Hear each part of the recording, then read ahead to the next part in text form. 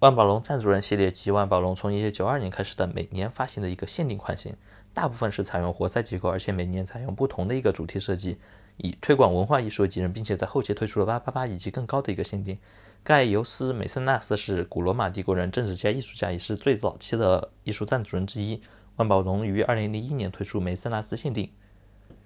这是一只四八一零制限定的梅森纳斯，普通的四八一零款的盒子比较大，但是不会很夸张，重量比较沉，包含一个纸盒、几本册子以及一个烤漆的一个木盒。表面的纸盒上面印刷是古罗马石柱，小册子内容很丰富，关于梅森纳斯赞助人系列的一些详细的一个介绍。而且烤漆的木盒做工也比较精细，木盒表面是有一些印花，在侧面是有一个金属名牌，上面打有限定号。打开盒子内侧带有一个绒布包裹的一个保护层。梅森纳斯是万宝龙比较沉的一个赞助人之一，整体重量超过了八十克。鼻毛部分是采用的一个银材料，在鼻毛表面是带有一些磨砂的效果，但是磨砂层相当薄。如果是使用了一段时间的梅森纳斯，或者是轻微用擦银布擦一下的话，鼻毛是会变得比较光面一些。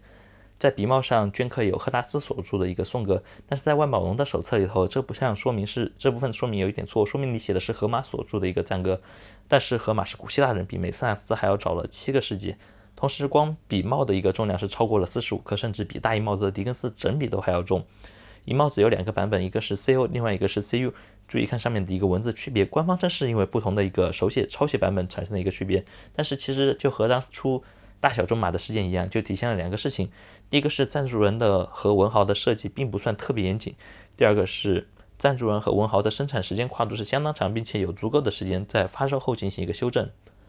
笔夹的造型是一把罗马的短剑，它其中剑柄和护手是采用一个镀金色，而剑身是采用的一个银色。设计短剑的设计其实比较简约，但是它体现的比较立体。在顶部是一块大块的一个六角形的小白花，在侧面的装饰环上有一些桂冠的一个花纹。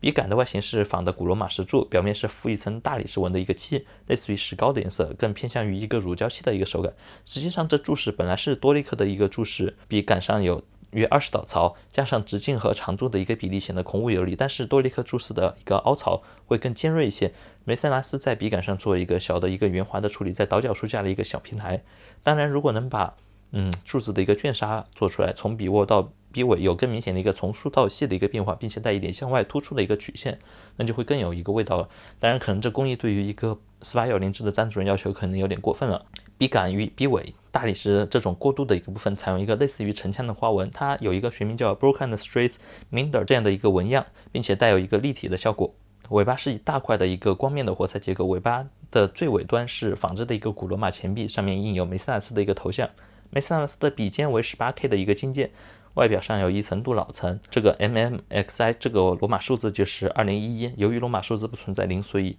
像这个 M 就是一千，XI 就十一。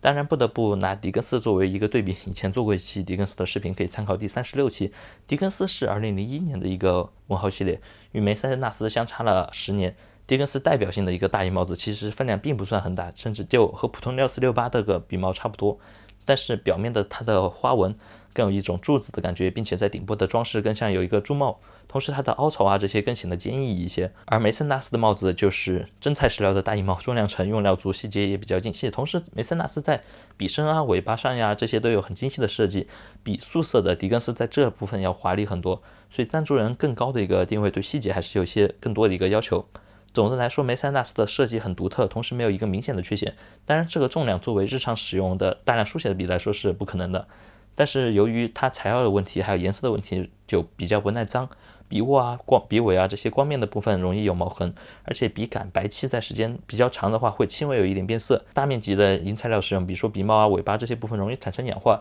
但是如果氧化得当的话，颜值还是不错的。